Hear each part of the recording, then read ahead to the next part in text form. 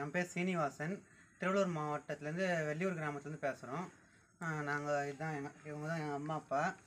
நாங்கள் மண்பாண்டை செய்கிறவங்க. அனைத்து விதமான எல்லா பானைகளும் செய்வோம். சின்ன சின்ன பானை பெரிய பானை இது மாதிரி எல்லா பானைகளும் செய்வோம்.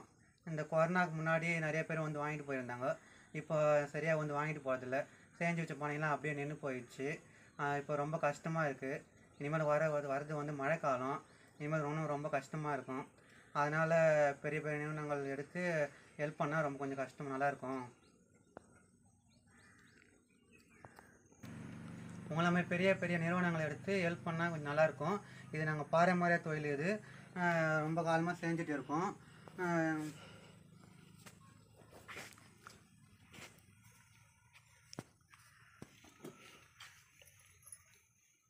நன்றி வணக்கம்.